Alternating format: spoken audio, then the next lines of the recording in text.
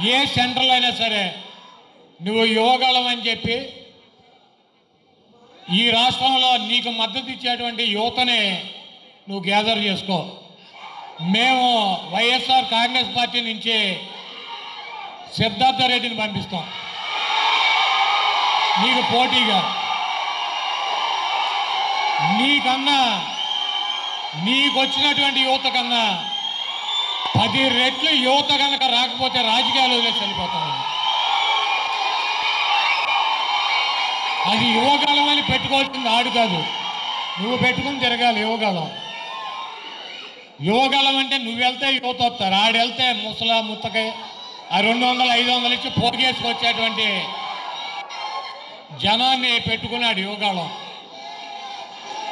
ఒక ముఖ్యమంత్రి కొడుకు ఒక ముఖ్యమంత్రి మనవడు మంగళగిరిలో పోటీ చేసి జగన్మోహన్ రెడ్డి గారు పెట్టినటువంటి అభ్యర్థి చేతిలో ఓడిపోయినటువంటి చవట దద్దమ్మ.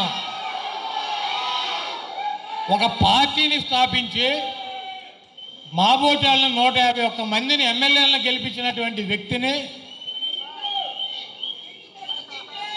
వ్యక్తిని వీడు ఛాలెంజ్ చేస్తాడు. ఇది కర్మ కాదు. ఇది జగన్మోహన్ రెడ్డి గారికి అదృష్టం తెలియదు దురదృష్టం తెలియదు ఎందుకంటే ఇటువంటి వేదవాళ్ళు ఆపోజిట్ ఉంటూ ఒక రకంగా అదృష్టం. ఇటువంటి వేదవాళ్ళతో మాటల పని పడించుకోవడం దురదృష్టం.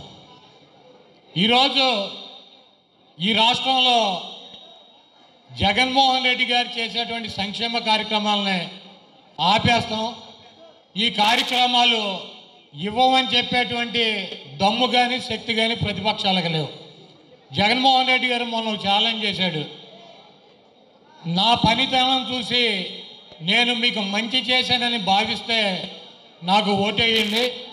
నూట డెబ్బై సీట్లు నేనే పోటీ చేస్తాను.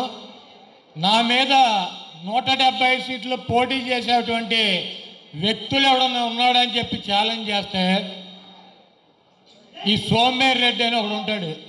ఆ నెల్లూరు జిల్లాలో సోమిరెడ్డి. వాడు వచ్చి చెప్తాడు జగన్మోహన్ రెడ్డి నీతి ఎవడో కలవడు అంటాడు. జగన్మోహన్ రెడ్డి గారు నిజంగా పిలిస్తే తలొక నాలుగు సీట్లు ఇస్తానని చంద్రబాబు నాయుడు కూడా ఆఖరికి జగన్మోహన్ రెడ్డి గారికి కవర్ చేస్తాడు నాకు ఒక పద్దెనిమిది సీట్లు ఇవ్వాలి. ఎందుకంటే ఆ పద్దెనిమిది గెలిచి ప్రతిపక్ష నాయకుడు అవ్వచ్చు అని.